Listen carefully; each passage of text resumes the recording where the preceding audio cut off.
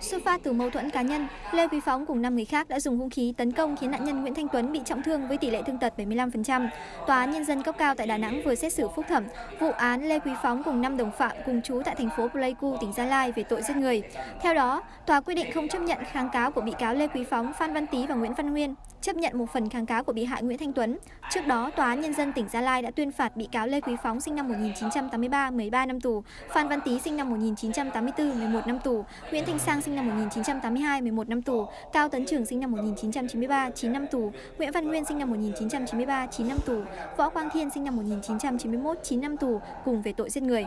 Sau phiên tòa sơ thẩm, các bị cáo Lê Quý Phóng, Phan Văn Tý và Nguyễn Văn Nguyên kháng cáo xin giảm nhẹ hình phạt. Bị hại Nguyễn Thanh Tuấn kháng cáo đề nghị tăng hình phạt đối với các bị cáo và tăng phần bồi thường thiệt hại đối với mình. Tại phiên tòa phúc thẩm, hội đồng xét xử nhận định, mặc dù mâu thuẫn giữa Nguyễn Thanh Tuấn và Lê Quý Phóng đã kết thúc, nhưng ngày 28 tháng 1 năm 2018, Phan Văn Tý vẫn chủ động ép buộc anh Tuấn phải gặp mình để giải quyết. Sau đó, Phan Văn Tý cùng Lê Quý Phóng, Nguyễn Thanh Sang, Cao Tấn Trường và Huỳnh Văn Nhật đã sử dụng hung khí cùng nhau đuổi đánh, chém nhiều nhát vào các vị trí trọng yếu trên người anh Tuấn, làm cho anh Tuấn bị tổn thương cơ thể với tỷ lệ 75%. Các bị cáo Nguyễn Văn Nguyên và Võ Quang Thiên dù không trực tiếp sử dụng hung khí đánh chém anh Tuấn nhưng dùng xe mô tô chở Huỳnh Văn Nhật đi lấy hung khí đuổi theo anh Tuấn, đứng ngoài hỗ trợ đồng phạm và sau khi đồng phạm thực hiện hành vi phạm tội thì dùng xe chở đồng phạm rời khỏi hiện trường. Do đó cũng phải chịu trách nhiệm với hậu quả mà các bị cáo khác đã gây ra cho anh Nguyễn Thanh Tuấn. Đối với Huỳnh Văn Nhật, tham gia đuổi đánh chém gây thương tích cho anh Nguyễn Thanh Tuấn, nhưng do Nhật đang điều trị bị bệnh tâm thần nên cơ quan cảnh sát điều tra đã tạm đình chỉ, tách hành vi của Nhật để điều tra xử lý sau. Tuy các bị cáo phạm tội thuộc trường hợp chưa đạt,